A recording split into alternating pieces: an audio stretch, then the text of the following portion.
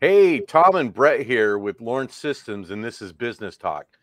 One of the things I've done throughout my life has been in business and have made a lot of mistakes on the way. And one of the things that took me the longest to truly understand and realize was how I hired people. And when I started to really research that, you know, back in the day, I was hiring people because I liked them I was hiring people because they knew what I knew, but I was missing hiring to fill the gap.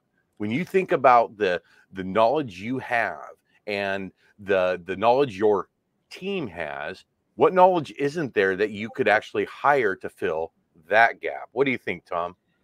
This is a huge problem because it's it's a mentality and I, have seen this and i don't know where this bad information came from but i'll tell you in all my years in business i can't think of any time i would think this to be true is oh don't hire people smarter than you or anything like that any of the uh-huh. best business leaders will tell you always you, you need to hire for people who have skills at different levels and i yeah it's just one of those things. It makes the most sense. And I was uh, listening to an interview the other day, and I laughed hearing Haroon Meer, the you know current president of Thinkst Canary, and he said something really funny in an interview talking about how he's built his company up over time and as large as they are. And he says it's hiring all these really talented people. He says he's actually hired so many talented people that he doesn't even fit in. He goes, I, I couldn't even get hired at this company. But that's almost like a fun goal of build a company with so much talent in it that maybe even you don't fit in, even though you own the place.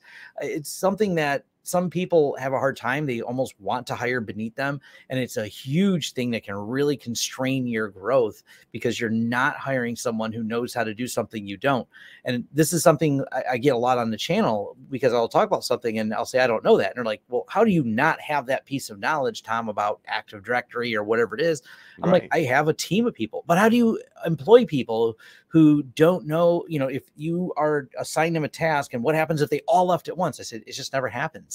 And I would yeah. just hire someone else who knows. If, if for some reason everyone here that is better at Active Directory to me, which is more than one person, by the way, um, then I would, yeah, the, the, bar. I mean, I, yeah, I'm not a complete. It's not me. Yeah, I'm not a complete moron when it comes to Active Directory, but it's not my day to day usage uh, of what I'm doing. So there are aspects of the job here that I have hired to fill a gap that I have in my knowledge to add it as a component of my service. The other option, kind of related, is going to be where you may want to hire contractors if it's a temporary gap. So you always have to be those determinations of do you bring it in house? Do you hire a employee full time can you sustain that knowledge because sometimes bringing in subject matter experts for one-off projects makes more sense because you can't sustain them when there's not projects but right. it's so important though to hire people that don't just fill the gap, but can be. It's okay if they're way more talented you. I'm always mm-hmm. impressed, you know, when we're interviewing someone and I'm like, wow, they know a lot. I love that feeling of coming away from that. I'm never threatened by it. And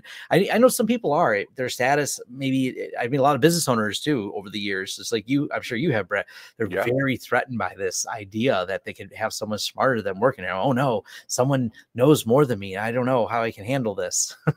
well, it's it, you. You can be a jack of all trades, but you're not going to be a master at all of them right? And and you you realize what you know and what you don't know. And unbeknownst to everybody out there tom doesn't know everything. I don't know everything. We might have ideas on things but when you fill the gap and you hire to fill the gap you make your team stronger either by doing personality tests to hire people that are a different mindset than you but most importantly, a different skill set than you, because I think it grows that team and makes that team just more um, powerful. Yes. And it's ultimately how you service your clients. You do those determinations. You mm-hmm. also, and we maybe we'll do a video a little bit about this, but we've talked about, I think we have, we've probably done one about process and procedures. Yeah. But you also, the way you find the gaps is having a process and figuring out who's going to do each process. That is a, a little thing. I know I've talked about it more than once on my channel. You can dig through my business talks and find it. it's something to think about. Make sure you have the processes so you know where the gaps are. So that's the little one more component to this. But we go, we always go back to processes, Tom. Why is that? Because I they know, work. Because they work, they help, they flowchart this out. So hopefully this little tip is simple. Just get rid of that bad advice that Yeah. I've keep I've seen posted more times than I can count of don't hire people smarter than you or whoever says that. I don't even know the origin of that. And it doesn't matter.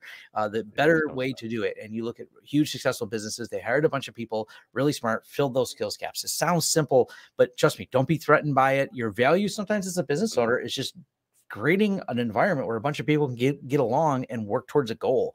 That is Yeah. uh, another value that you can provide or, or should be providing as a business owner, not necessarily just being the most talented person in the room. That's not necessarily the role. So hopefully I that love makes the sense. team here. I love the team here, Tom, because we do that. And hey, it's a couple days before what, Tom? The end of the year. No. Oh. Oh, Christmas? Yes, Christmas. I don't like Christmas. He- I'm a Christmas fiend, and Tom, you know, he Mm. he, he endures it. I endure it. So Merry Everyone- Christmas, everyone. Happy Merry Christmas, holidays. happy holidays, all those fun things. Celebrate whatever you celebrate, and uh, we'll see you in the next video. Thanks. Bye.